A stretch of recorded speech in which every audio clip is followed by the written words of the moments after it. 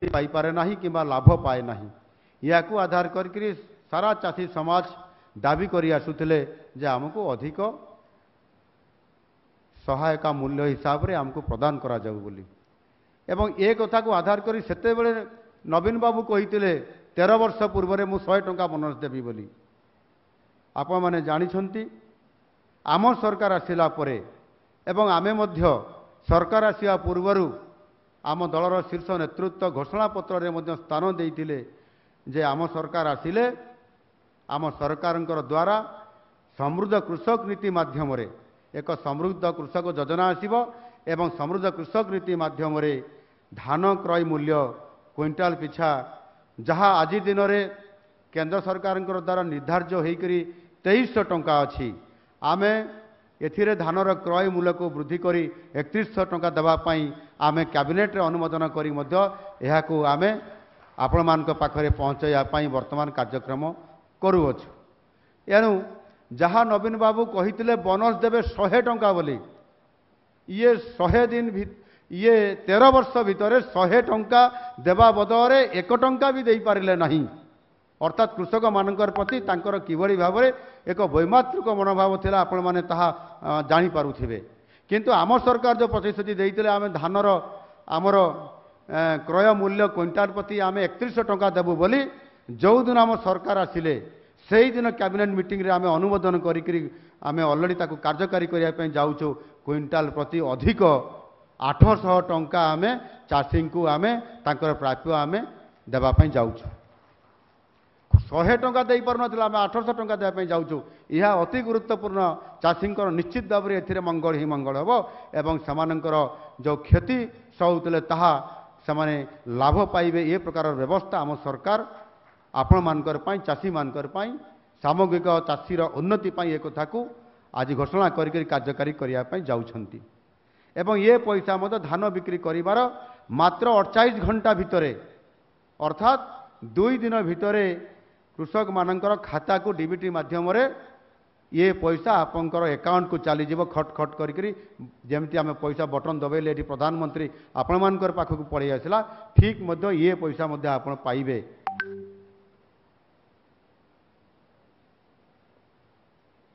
ବନ୍ଧୁଗଣ ଇଏ କେବଳ ଚାଷୀମାନଙ୍କର P M Kisan C M Kisan ଇଏ ଦୁଇଟି ଆପଣଙ୍କୁ ଛଅ ହଜାର ଏବଂ ଚାରି ହଜାର ହିସାବରେ ବର୍ଷକୁ ଦଶ ହଜାର ଟଙ୍କା ଆମର ଡବଲ ଇଞ୍ଜିନର ସରକାର ଆପଣମାନଙ୍କର ପାଖରେ ପହଞ୍ଚାଇବା ପାଇଁ ପ୍ରତିଶ୍ରୁତିବଦ୍ଧ ଏବଂ ତାହା କାର୍ଯ୍ୟକାରୀ ଆଜି କରୁଛନ୍ତି। ଏହା ସହିତ ମଧ୍ୟ ଯେଉଁଥିରେ ମୁଁ କହିଲି ଧାନର କ୍ରୟ ମୂଲ୍ୟ ଏଥିରେ ମଧ୍ୟ କୁଇଣ୍ଟାଲ ପ୍ରତି ଆଠଶହ ଟଙ୍କା ଆପଣମାନେ ଅଧିକ ପ୍ରାପ୍ତ ହେବେ। ଯେଉଁଥିରେ ଆପଣମାନେ ଜଣେ ଚାଷୀ ଯଦି ସର୍ବାଧିକ ବା ଜଣେ ଚାଷୀ ଯଦି ସିଏ ପଚାଶ କୁଇଣ୍ଟାଲ ଧାନ ଯଦି ସରକାରକୁ ସିଏ ସରକାରକୁ ଦେବେ ଏବଂ ସରକାର କିଣିବେ ତାହେଲେ ଆପଣ ହିସାବ କରନ୍ତୁ କେତେ ଅଧିକ ଟଙ୍କା ଆପଣ ପାଇପାରିବେ। ପଚାଶ କୁଇଣ୍ଟାଲ ଯିଏ ଦେବ ସିଏ ଚାଳିଶ ହଜାର ଟଙ୍କା ଅଧିକ ପାଇବ ଏବଂ ତା ସହିତ ମଧ୍ୟ ସେ ଏହାର ସମସ୍ତ ଫାଇଦା ଉଠାଇ ପାରିବ। ଇଏ ପ୍ରକାରର ଗୋଟେ ବ୍ୟାପକ ଚାଷୀମାନଙ୍କର ଉନ୍ନତି ପାଇଁ ଆମ ସରକାର ଚିନ୍ତା କରିବା ସହିତ। ଏବେ ଏଇ ଯେଉଁ କୃଷିଜାତ ସାମଗ୍ରୀ ବିକ୍ରି କରିବାର ଯେଉଁ ସୁବିଧା ପାଇଁ ଯେଉଁ ମଣ୍ଡି ଗୁଡ଼ିକ ଅଛି ଯେଉଁ ପ୍ୟାକ୍ସ ଗୁଡ଼ିକ ଅଛି ସେଗୁଡ଼ିକର କେମିତି ଡେଭଲପ୍ ହୋଇପାରିବ ତା'ର ଭିତ୍ତିଭୂମି କେମିତି ସୁଦୃଢ଼ ହୋଇପାରିବ ଏବଂ ସେଥିପାଇଁ ମଧ୍ୟ ଆମ ସରକାର ସ୍ୱତନ୍ତ୍ର ଭାବରେ ଏଠି ନିଷ୍ପତ୍ତି ନେବା ପାଇଁ ଆ- ଯାଉଛନ୍ତି ଏବଂ ତାହା ମଧ୍ୟ ନିଶ୍ଚିତ ଭାବରେ ଆପଣଙ୍କର କାର୍ଯ୍ୟକାରୀ ହେବ ଯେଉଁଥିରେ କି ଆପଣଙ୍କର ଯେଉଁ କୁହାଯାଉଥିଲା ଆପଣଙ୍କର କଟନୀ ଛଟନୀ ବିଷୟରେ ଏଠି ଆମର ମନ୍ତ୍ରୀ ଗଣ ଏଠି କହିକି ଗଲେ ଆପଣମାନଙ୍କର ପାଖରେ ଯେ କଟନୀ ଛଟନୀ ଆଉ ହେବ ନାହିଁ। ପ୍ରତି କୁଇଣ୍ଟାଲ ପିଛା ତିନି କିଲୋ ପାଞ୍ଚ କିଲୋ ଆଠ କିଲୋ ପର୍ଯ୍ୟନ୍ତ ଯେଉଁ ନେଇଯାଉଥିଲେ ସେଥିରେ C C T V camera ଲାଗିବ ଏବଂ ସେଥିରେ କଟନୀ ଛଟନୀ ଆଦୌ ହେବ ନାହିଁ। ଯଦି କଟନୀ ଛଟନୀ ହେବ ସେ ଅଭିଯୋଗ ଆସିଲେ ଏବଂ ସି ସି ଟି ଭିରେ ତାହା ଦେଖାଯିବ ତା ଦ୍ୱାରା ଯେଉଁ ଯେଉଁମାନେ କଟନୀ ଛଟନୀ କରୁଥିବେ ସେହି ଅଧିକାରୀମାନଙ୍କର ବିରୁଦ୍ଧରେ ଏବଂ ସେହି କର୍ତ୍ତୃପକ୍ଷଙ୍କ ବିରୁଦ୍ଧରେ ଦୃଢ଼ କାର୍ଯ୍ୟାନୁଷ୍ଠାନ ଗ୍ରହଣ କରାଯିବ। ଆଉ ସେଥିପାଇଁ ଇଏ ଇଏ ମଣ୍ଡି ଗୁଡ଼ିକର ଆଧୁନିକକରଣ କରିବା ପାଇଁ ଏବଂ ସେଥିରେ ସେଡ୍ ରହିବ। ଚାଷୀ ସେଠି ବସିବ ଯେତେ ସମୟ ପର୍ଯ୍ୟନ୍ତ ତାର ଧାନ ସେ ବିକ୍ରି ନ କରିପାରିଛି ବା ସରକାରକୁ ଦେଇ ନ ପାରିଛି ସେଠି ସେ ରହିବ। ତାର ସମସ୍ତ ବ୍ୟବସ୍ଥା। ଏବଂ ସେଥିରେ ମଧ୍ୟ ଆପଣଙ୍କର ମେସିନ୍ ଲାଗିବ ମଶ୍ଚରାଇଜ୍ କୁ ଦେଖିବା ପାଇଁ ମେସିନ୍ ଲାଗିବ ସମସ୍ତ କଥା ବ୍ୟବ- ବ୍ୟବସ୍ଥା କରି ଚାଷୀଙ୍କର ସର୍ବା ସର୍ବାଙ୍ଗୀନ ଯେଉଁ ସୁବିଧା ମିଳିବା କଥା ସର୍ବାଧିକ ଯେଉଁ ସୁବିଧା ମିଳିବା କଥା ତାକୁ ମଧ୍ୟ ସେ ନିଶ୍ଚିତ ଭାବରେ ଦେଖିବ।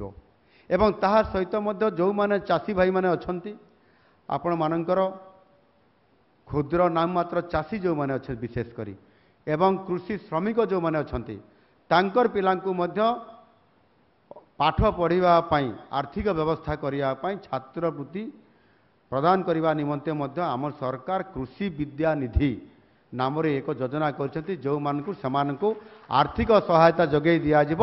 ସେମାନେ ସିଧାସଳଖ ଭାବରେ ଭଲ ସ୍କୁଲରେ ପାଠ ପଢ଼ିବେ ତାର ସମସ୍ତ ବ୍ୟବସ୍ଥା ରାଜ୍ୟ ସରକାର ବ୍ୟବସ୍ଥା କରୁଛନ୍ତି।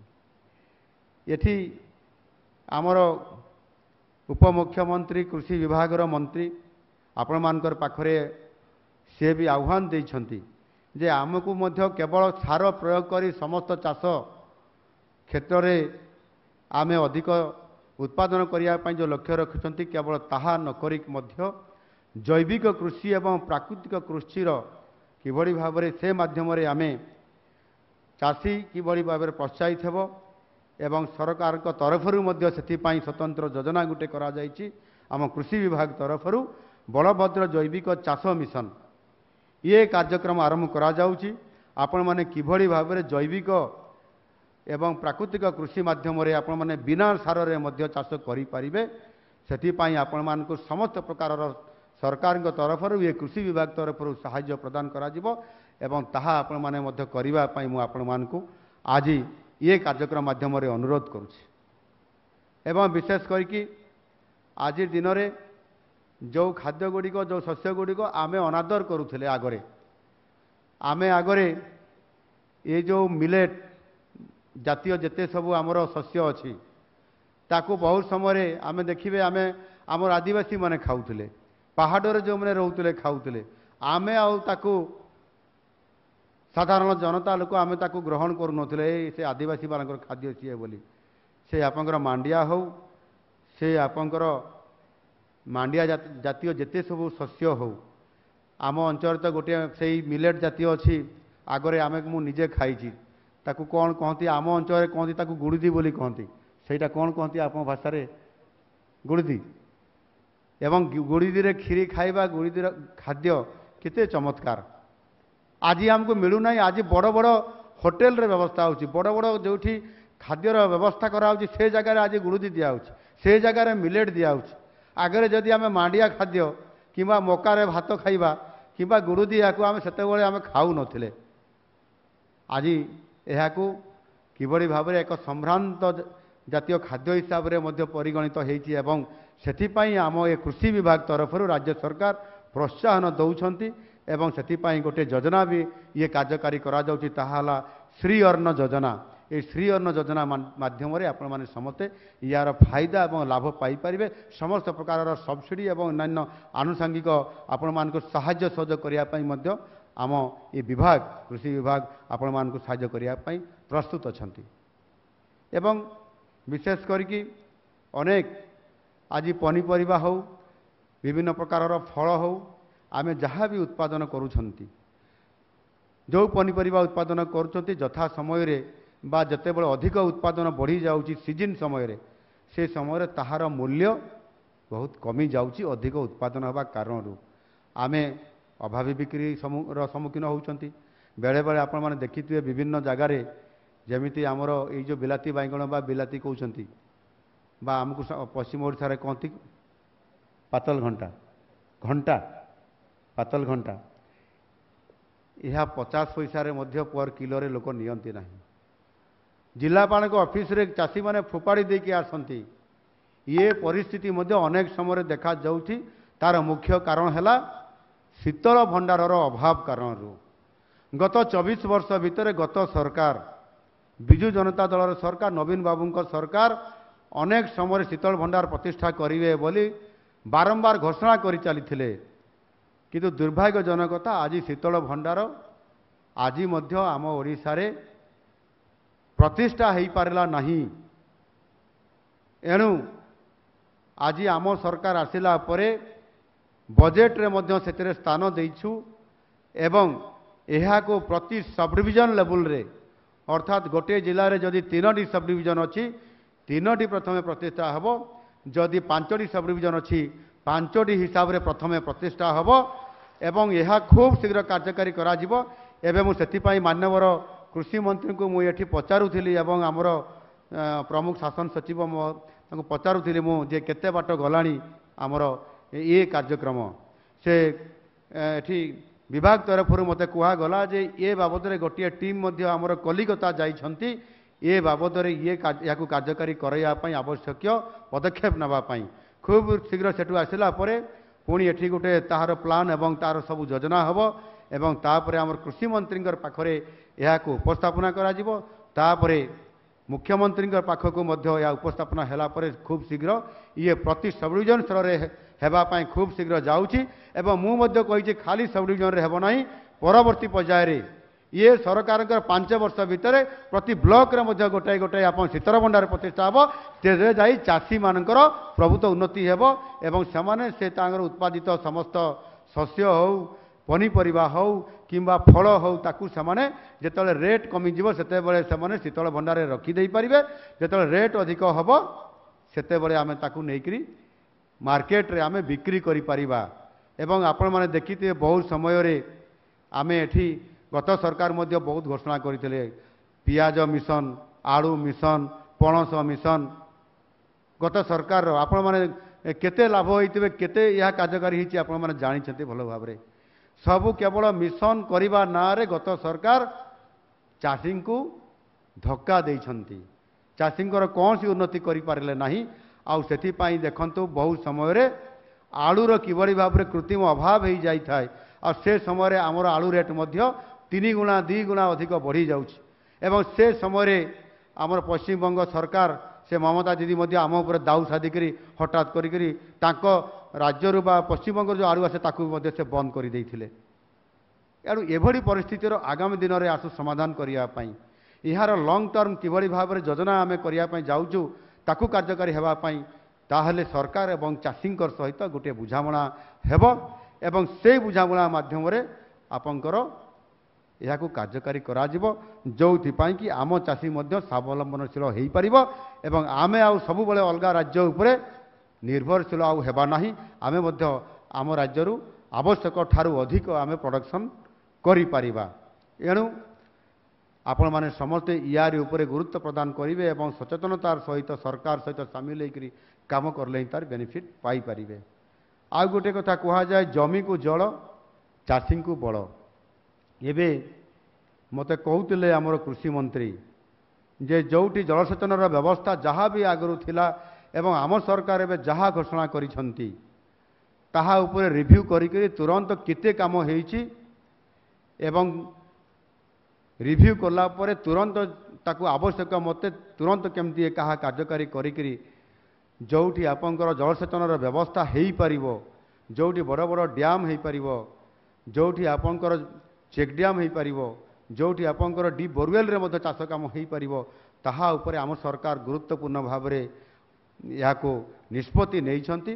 ଆଉ ସେଥିପାଇଁ ମଧ୍ୟ କୃଷି ସହିତ ଆନୁଷାଙ୍ଗିକ ଯେଉଁ ଆମର କ୍ଷେତ୍ର ଅଛି ଏହାକୁ ମିଶେଇକରି ଆମେ ବହୁତ ବଡ଼ ଗୋଟିଏ ବଜେଟରେ ଆମେ ପଇସାର ବ୍ୟବସ୍ଥା ମଧ୍ୟ କରିଛୁ ଏବଂ ଏହାକୁ ବାରମ୍ବାର ରିଭ୍ୟୁ ମଧ୍ୟ ହେଉଛି। ଆଉ ଥରେ ମଧ୍ୟ ମୁଁ ନିଶ୍ଚିତ ଭାବରେ ଏହାକୁ ମୁଁ ରିଭ୍ୟୁ ମଧ୍ୟ ନିଜେ କରିବି ଯେହେତୁ ଜଳସମ୍ପଦ ବିଭାଗର ଦାୟିତ୍ୱରେ ମୁଁ ନିଜେ ଅଛି। ଆଉ ସେଥିପାଇଁ ଏ କୃଷି ଏବଂ ଆନୁଷାଙ୍ଗିକ କ୍ଷେତ୍ରରେ ଅଧିକ ବ୍ୟୟବରାଦ ଆମ ସରକାର ଏବେ କରିଛନ୍ତି। ସେଥିପାଇଁ ତେତିଶ ହଜାର ନଅଶହ ଉଣେଇଶ କୋଟି ଟଙ୍କା କୃଷି ବଜେଟରେ ପ୍ରାବଧାନ ରଖାହେଇକି ଏହାକୁ ଅନୁମୋଦନ ବା କୃଷି ବଜେଟରେ ଏହାକୁ ମଧ୍ୟ ପାସ୍ କରାହେଇଛି।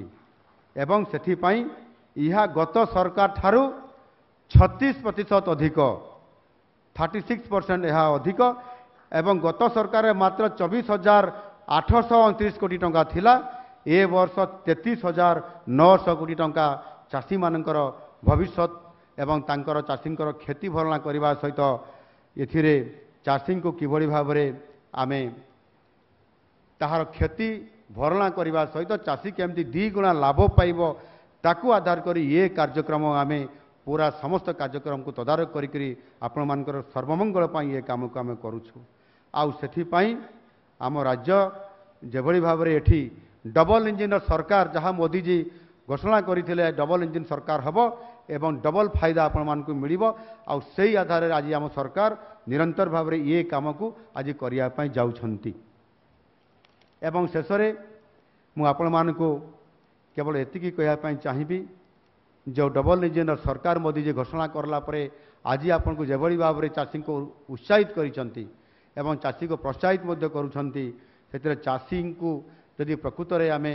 ଏଠି ସେ ସ୍ତରକୁ ଯଦି ଗୁରୁତ୍ୱ ଦିଆଯିବ ତାହାର ପ୍ରଡକ୍ସନ୍ ସାଇଡ଼କୁ ତାହେଲେ ନିଶ୍ଚିତ ଭାବରେ ଚାଷୀ ଆଗାମୀ ଦିନରେ ତାର ଆୟକୁ ଦ୍ୱିଗୁଣା କରିବାରେ ସକ୍ଷମ ହୋଇପାରିବ ଆଉ ସେଥିପାଇଁ ଯେଉଁ ମୋଦିଜୀ ମନ୍ତ୍ର ମଧ୍ୟ ଦେଇଛନ୍ତି ସବକା ସାଥ ସବକା ବିକାଶ ସବକା ବିଶ୍ୱାସ ଓ ସବକା ପ୍ରୟାସ ଏହି ମନ୍ତ୍ରରେ ଉଦ୍ବୁଦ୍ଧ ହୋଇ ଆପଣମାନଙ୍କୁ ସମସ୍ତଙ୍କୁ ଆଜି ଅନେକ ପରାମର୍ଶ ସେ ଦେଇଛନ୍ତି ଏବଂ ଅନୁରୋଧ ମଧ୍ୟ କରିଛନ୍ତି ଆମେ ସରକାରଙ୍କର ଯୋଜନା ସହିତ ଯଦି ଆମେ ସମସ୍ତେ ଏହାକୁ ଜାଣିବା ସଚେତନ ହୋଇକରି କାର୍ଯ୍ୟକାରୀ କରାଇବା ତାହେଲେ ନିଶ୍ଚିତ ଭାବରେ ଆପଣମାନଙ୍କୁ ଏହା ବହୁତ ସହାୟକ ହୋଇପାରିବ।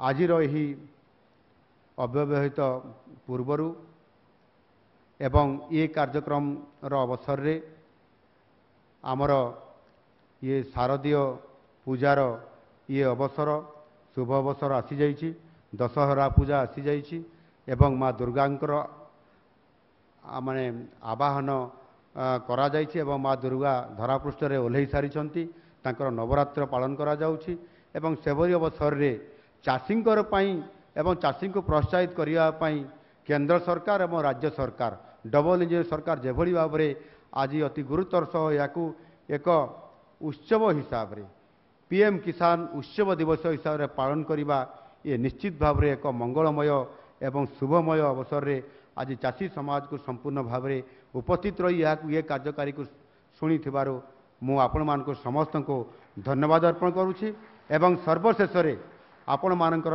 ସମୟ ଉପଯୋଗୀ ସମ୍ମିଳିତ ପ୍ରଚେଷ୍ଟା ଦ୍ୱାରା ରାଜ୍ୟରେ କୃଷି କ୍ଷେତ୍ରରେ ସଫଳତା କାମନା କରିବା ପୂର୍ବକ ଆପଣମାନଙ୍କୁ ସମସ୍ତଙ୍କୁ ଆଉଥରେ ପୁନର୍ବାର ଧନ୍ୟବାଦ ଦେଇ ମୋର ବକ୍ତବ୍ୟକୁ ଏଠି ଶେଷ କରୁଛି ଧନ୍ୟବାଦ ବନ୍ଦେ ଉତ୍କଳ ଜନନୀ ଜୟ ହିନ୍ଦ